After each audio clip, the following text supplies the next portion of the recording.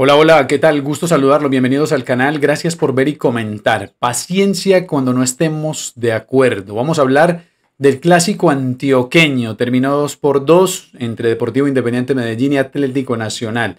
En lo futbolístico, muy poco. El partido regularcito, son dos nóminas menores eh, que no vienen con mucho ritmo, que entran y salen jugadores, que son muy cambiantes materia prima medianita con algunos juveniles en proceso de desarrollo, de consolidación, en fin, eh, con muchas situaciones, pero que hicieron que el partido fuera emotivo, cambiante, gol desde el segundo 15, de, lo empieza ganando el Medellín, lo voltea Atlético Nacional, después lo empata sobre el final el Medellín, en fin, no terminó pasando mucho más. Hay un hecho eh, lamentable, le tiraron un navajazo pues a, Cepelini eh, cuando iba a cobrar un tiro de esquina ya sobre el final y eso daba para parar el partido, eso daba para suspenderlo, es una navaja, o sea, no sé cómo lo notaron en la transmisión, no lo dijeron, yo en la transmisión que estaba haciendo para Noticias del Verde lo identifiqué de inmediato, es una navaja,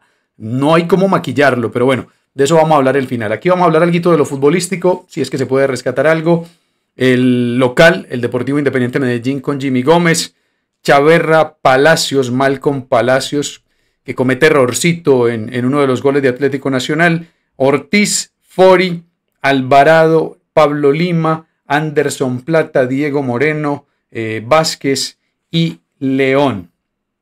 Nacional con Castillo, Angulo, Espinosa, Arias, Castro, Duque, que comete también error en el gol del Deportivo Independiente Medellín, Mejía, Ocampo, Mantilla, Cepelini y Emilio Aristizábal, que no tuvo ninguna. El problema no es el 9, póngale el nombre que quiera, el problema es la generación de juego que no hay. Termina siendo todo muy anárquico, muy de lo que se puede hacer por ahí en arrancones individuales, salvo en contadas excepciones, por ahí lograron hilar alguna acción y terminar en algo. Eh, por momentos, Nacional tuvo la pelota, se la quitó al Medellín, generó eh, pases, posesiones medianas, 5, 6, 8, 10 pasecitos, con alguna profundidad, con alguna proyección. Eh, lo que pasa es que se finaliza muy mal. Ocampo finaliza mal, bueno, Mantilla casi no se notó, no participó en el partido, no participó, no, no participó, no participó casi en el partido, se, juntan las palabras. Mantilla más pendiente de apoyar a Angulo que de salir, eh, Ocampo sí, con toda la libertad para irse, incluso el mismo Castro. Esto hace pues que en algún momento, si estos dos van, pues estos dos deberían de estar dando equilibrio. Y eso pasó. Eh, por eso Castro llega a una posición de gol. Eh, bueno lo de Duque y Mejía, siendo Duque un poquito más posicional, Mejía suelto, ese rol se pierde por momentos. Eh, se nota más cuando está Wallace, por ejemplo. Wallace es posicional, claramente, y Mejía suelto por todo el terreno, y eso genera algo de equilibrio. Yo sé que no quieren a Wallace, no les gusta Wallace, aquí tenemos de eso, estamos totalmente de acuerdo, pero aquí también tenemos Cepelinis, aquí también tenemos Rojas como ese arquero, y lo de Cepelini, pues regularcito. Por ahí metió un muy buen pase para el gol de Castro, pero de eso tenemos. Eh, aquí tiene que haber jugadores mejores que Cepelini. Eh, pero bueno, por el lado del Deportivo Independiente Medellín, eh, la situación de Jimmy Gómez, uy, qué, mala suerte en este torneo con, con los arqueros. Les está pasando de todo a los arqueros del Deportivo Independiente Medellín. En una jugada donde parecía que no pasaba nada. Se choca con Emilio Aristizábal y cae y terminan haciendo la sustitución. Ortiz con errorcitos todavía, impreciso, no da tanta seguridad. Eh, el pelado Malcolm, errorcito en la salida, ahí es donde recuperan esa pelota, ya vamos a ir a la cronología. Chaverra y Fori me parece que cumplen, Lima viene levantando, Alvarado sigue siendo, junto con Diego Moreno, tal vez los mejores del Medellín. Vázquez viene de dulce con el gol, está teniendo buenos partidos. León el gol y poco más. Y Plata que Plata es todo velocidad. Eh, y este sí es velocidad o precisión, todo velocidad. Eh, es jugador de fútbol profesional, esa ha sido su característica, la velocidad. Por momentos te hace muy buenos partidos, en otros se cae solo, se para en la pelota, se le acaba la cancha, en fin, se ve casi amateur por momentos. Uy, por eso Por eso hay que trabajar tanto la coordinación en las edades formativas, pero la coordinación es todo. La coordinación es todo. La técnica se va puliendo, pero ¿para qué toda esa velocidad de plata si no puedes coordinarla? ¿Para qué quiero yo la velocidad de un Fórmula 1 si no soy capaz de frenar o de entrar a la curva? Plata es todo velocidad. Por momentos es todo velocidad y después no puede controlarla y eso tiene que ver con un tema de, coordinación. Eh, esto para bien y para mal. Así llegó al fútbol profesional y ya esos temas son difíciles. Es, muy complejo, por eso decirlo es tan teso, porque decir que un jugador de fútbol profesional que llegó, que superó a millones que querían llegar, es descoordinado o tiene poca coordinación o tiene oportunidades de mejora en la coordinación, es muy teso, porque seguramente toda su vida ha trabajado coordinación, ha hecho estos drills y estos recorridos de coordinación. Entonces, por eso pareciera en contravía decir que es un tema de coordinación, pienso yo, pero bueno. De cronología, desde los 14.5 segundos marcó gol el Deportivo Independiente Medellín. ¿Qué pasó? Y eso que el, saque inicial lo hizo Atlético Nacional. ¿Cómo terminó entonces el, en gol para el Deportivo Independiente Medellín? Es una jugada que mueven para atrás, para adelante, y la idea era devolverla atrás. Y en ese devolverla atrás, John Duque intenta entregarle a Castillo. A ver, este John Duque intenta devolverle a Castillo un pase fuerte, pero en, el, en la trayectoria no se fija, claramente no se fija, va a devolver el pase y en la trayectoria está Espinosa. Y Espinosa, por supuesto, no espera ese riendazo. E intenta, lo, espanta la pelota, se la termina pasando a León, que venía apenas posicionándose y queda de frente para ir a definir. Eh, pues ese error de John Duque. Ese error de John Duque. Ahora, yo quiero preguntarles también, obviamente el hincha tiene sus preferidos y tiene sus medidores mm, para valorar a los jugadores. ¿Dónde ese error de Duque lo cometa Wallace? Yo no me quiero, no, me quiero ni imaginar, lo hablamos en la agenda. Eh, bueno, esto al minuto, a los 15 segundos. De ahí panorama favorable para el Medellín, pero ya sabemos cómo es este Medellín. Este Medellín puede ir ganando 1-0, 2-0, 3-0 y se lo pueden empatar y hasta lo puede perder. Equipo muy regular, pero también es un equipo que lo puede ir perdiendo 1-0, 2-0, 3-0 y es capaz de empatarlo y hasta ganarlo. Es un equipo de enviones anímicos eh, enérgicos, eh, muy cambiante, poco estable, poco confiable yo diría que incluso desde su entrenador, desde las caras, desde el sufrimiento, desde el mensaje, que aquí pues sí vamos a valorar a los jugadores extranjeros, también hay que valorar a los directores técnicos extranjeros. Yo creo que aquí tenemos mejores que Alfredo Arias. Ahora, esto no quiere decir ni que es un mal entrenador, ni que no lo quiero, ni no, no tiene que ver por ahí, pero sí también hasta dónde les tenemos paciencia, hasta dónde se le dan herramientas y oportunidades al extranjero versus al colombiano. Y no sé, desde el mensaje, por eso les quiero preguntar a ustedes. Bueno, ahí eh, no pasa mucho más. Nacional intenta levantarse del golpe, hacerse a la pelota, e intentar circular. Se vuelve un partido muy de medio campo, no se pueden imponer. Minuto 15 tengo un remate de Vázquez de media distancia. Le, Chipi Chipi lo manda al córner. Al 25 tengo una amarilla para Ortiz, una falta sobre Emilio Aristizábal.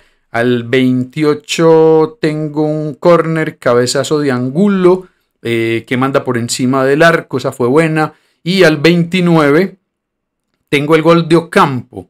Es un remate de fuera del área, mala salida de Malcom Palacios. Hay una interacción entre Cepelini y Emilio. Le abren a, Ocampo y Ocampo patea con posibilidad eh, de frente, no le salió nadie y la pelota va adentro. ¿Pudo haber hecho más el arquero? No sé. Al 38 fuera Jimmy Gómez, adentro Chaus por el choque que mencioné ahí con Emilio y con su compañero. Al 40 amarilla para Duque por falta sobre Vázquez. Y al 42 llega el gol de Atlético Nacional. Es una jugada que está recostada por la izquierda. Le queda Cepelini. Se había, se había liberado Castro a esta zona. Es un pase cortado eh, de Cepelini desde por aquí. Se ve muy bacano, se ve muy bonito ese pase porque pasa por detrás de todos y le queda de frente para patear y marcar un muy buen gol.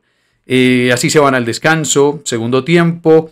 Eh, Chaverra afuera, entra Graciano, entra Mender por Lima. Al no pasó mucho nada en ese arranque del segundo tiempo, lo mismo, forzadito todo, te la quito, me la quita, bueno, no termina pasando más.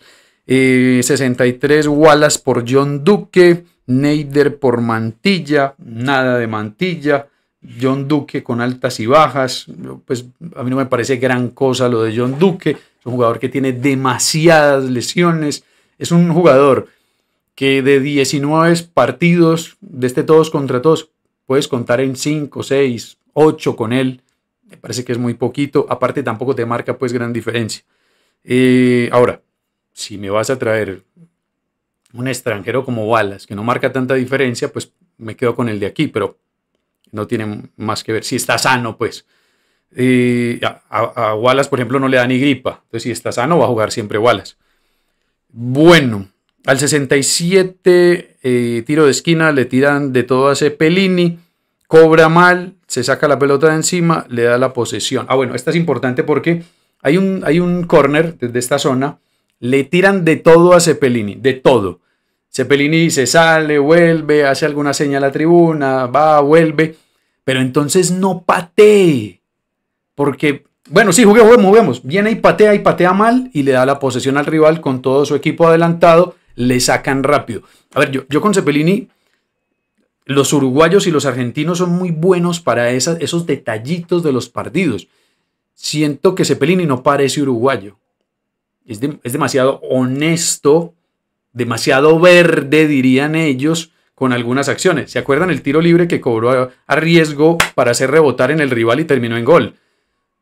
Eso seguramente no te lo hace alguno de allá, no te cobra. Eh, aquí es, eh, en este corner, pues Cepelini no, no cobra para no, para no sacarse la pelota de encima, ¿no? Entonces que patee otro. O, y, y pateó, pateó en una situación como esta. Vinieron jugadores del Medellín a hacerle pues la seña a la gente de que, de que no, no, no tiraran más cosas y Cepelini pateó con todos ellos ahí. Acuérdese que aquí tiene que haber una distancia, aquí hay una rayita donde los jugadores se tienen que separar. Cepelini pateó con todos ahí, o sea, se, sacó la pelota de encima y ya. Y ni, creo que ni siquiera miró a dónde la tiró. Fácil para el Medellín y el Medellín de una vez tiene posesión de la pelota y los pudo haber tomado mal parado. Entonces, no sé, yo siento que también te lleva a eso el partido, no sé si es honestidad, no, sé, lo, pueden valorar como quieran, yo detallo la situación. Bueno, vamos más para adelante, al 74 viene el gol del Medellín, Mender García, eh, hay una pelea de plata para recuperar esa pelota, entrega para Mender, me parece que sale atropellado muy rápido, Chipi Chipi Castillo, pudo haber aguantado más, pero sale y se tira y se voltea, es fácil vencerlo. Eh, y mm, le ganan la espalda a Juan José. Le ganan la espalda a Juan José Arias. Ojo que aquí volvemos a lo mismo de la valoración. Es un muchacho, está todavía en proceso de consolidación, no es tan joven, eh, pero si esos errores los comete otro, ¿cómo sería la valoración? Si esos errores los cometía Zapata, que le, comieran la espalda, o si los comete Espinosa, o si los comete, no Aguirre, la valoración tiene que ser ecuánime, no matar a unos por el error y salvar a otros por el error. No, todos cometen errores, puede pasar. Bueno, ahí llega el gol, el empate, minuto 74, sustituciones en el Medellín, Baldomero por Alvarado, qué poquito de Baldomero, y el pelado Montaño por Plata. Al, no pasó mucho más ahí, al 87 cobró un tiro libre, eh, Chaus controla en dos tiempos cuando llegaba Espinosa para rematar, al 90 se escapa Torres, controla mal, pierde un tiempo y se le alcanza a incorporar Ortiz. Se escapaba Torres, no ha mostrado nada en Atlético Nacional. Hasta el control lo hizo. Si controla orientado para adelante, quedaba mano a mano para definir. Había que mirar el, fuera de lugar, la, la posición fuera de juego, pero por lo menos haga la acción y que termine adentro y que revise. No, controla mal, pierde tiempo, se demora, lo alcanza el defensor y no terminó pasando nada. Al 92 viene la polémica, es un corner, le tiran de todo otra vez a Cepelini, entre ellos una navaja abierta. Yo en la transmisión la identifiqué de una. No sé si es que yo tengo mucha calle o los de la transmisión no tienen calle, no ven, pero era claramente una navaja a medio abrir. Y es peor todavía que, a ver, el, árbitro del partido fue Wilmar Roldán, me parece que lo hizo bien, lo llevó bien, no hay grandes polémicas. Por ahí había que una mano de Espinosa, eso no es sancionable, ahí no hay ni siquiera para revisar. Pero esta mujer, Jenny Arias, es de Bogotá, estaba como asistente en esta zona. La cara de sorpresa y de, uy, cuando ve que es una navaja, no la recoge y le dice, Wilmar, vea lo que tiraron. Sigue mirando ahí y ya como si nada. La cara de ella, lo vamos a ver en la agenda. Cuando ve lo que le tiran y hace así como, ay, huepucha, están tirando navajas. Mujer, había que tomarla, decirle a Wilmar, mire, esto tiene que ir al informe. Pero bueno, no lo hizo. Estaba acompañado, ah, bueno, estaba acompañado Wilmar de Javier Patiño el 1, Jenny Arias la asistente 2, cuarto árbitro Alejandro Moncada. En el bar estaba Leonard Mosquera. La mayoría de Antioquia son de Casda, de la escuela del, como bar estaba Elkin Echavarría. Leonard estaba en el bar. De pronto no puede intervenir, pero le podría haber dicho, Wilmar, ojo que tiraron una navaja, revisa. Y entonces ahí Wilmar puede ir a mirar, qué fue lo que cayó, recogerla o preguntarle al asistente que muestre a ver qué están tirando, porque se veía que tiraban encendedores, eh, rollitos de papel, cositas, y una navaja. Es una locura, eso no puede pasar. Estamos a nada, a nada de que haya un muerto. O sea, la gente se mete a la cancha, hay estampidas, se frenan los partidos, está pasando de todo. Esto se va a volver nada. No estamos disfrutando nada del juego, nada de fútbol, terminamos más es hablando de lo que pasa afuera. Bueno, después un remate de Wallace de media distancia, no pasa nada. Y al 94 un remate de Ocampo que controla muy fácil Eder Chaus. Pues Nacional ya estaba eliminado. Eh, con un partido tan cambiante, Medellín cuando estaba ganando estaba con posibilidades claras. Tiene diferencia de gol muy negativa, eso lo complica. Eh, estaba quedando en menos 11 eh, en algún momento cuando lo ganaba Nacional, estaba quedando en 9 cuando lo estaba ganando, estaba llegando a 28 puntos, los mismos que tiene Millonario Junior y Once Caldas, y era depender en la última fecha. Primero ganarle a Envigado y que alguno de los otros perdiera. Bueno, ahora necesita ganarle a Envigado y que alguno de los otros pierda. Ya no le sirve otra cosa. ¿Por qué? Porque quedó con 26, haría 29 y pues dependerá de lo que haga Millonarios, Junior, Once Caldas y Fortaleza. Fortaleza que tiene 23, en caso de ganar su partido habría 26 y en la última jornada podría ser 29. Pero Medellín, por ahora con el que es el frente, perdería en la diferencia de gol. Tendría que hacer 5 o 6 y que a Millonarios Junior 11 Caldas le hagan 5 o 6 para quitarse de todas maneras 10 eh, goles de diferencia sea porque los haga o sea porque se los hagan a uno de los otros rival. Está muy difícil. Se puede dar, sí, pero está muy difícil. Los quiero leer a ustedes en los comentarios. Recuerde que todo lo podemos debatir siempre con respeto y con argumentos, porque la única verdad en el fútbol es que no la tiene nadie. Paciencia cuando no estemos de acuerdo. Conéctese a los directos. Para eso, active las notificaciones para que se entere cuando estamos en directo y compartamos en vivo.